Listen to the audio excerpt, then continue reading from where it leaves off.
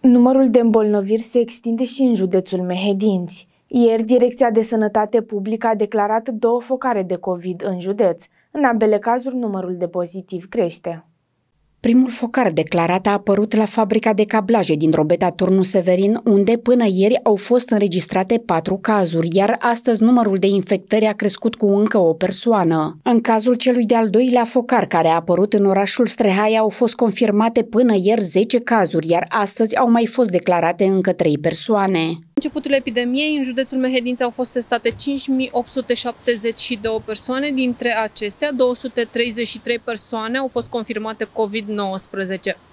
Din cele 233 persoane, 154 persoane sunt externate, 56 persoane se află internate în acest moment, 20 persoane decedate și 3 persoane se află la domiciliu uh, fără simptomatologie.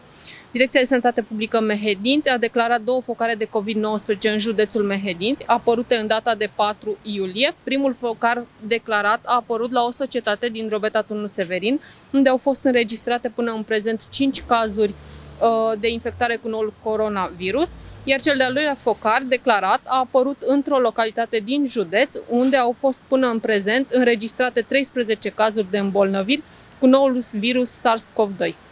În total, în Mehedinți, numărul de îmbolnăvire a crescut în ultimele 24 de ore cu 6 cazuri noi de COVID-19.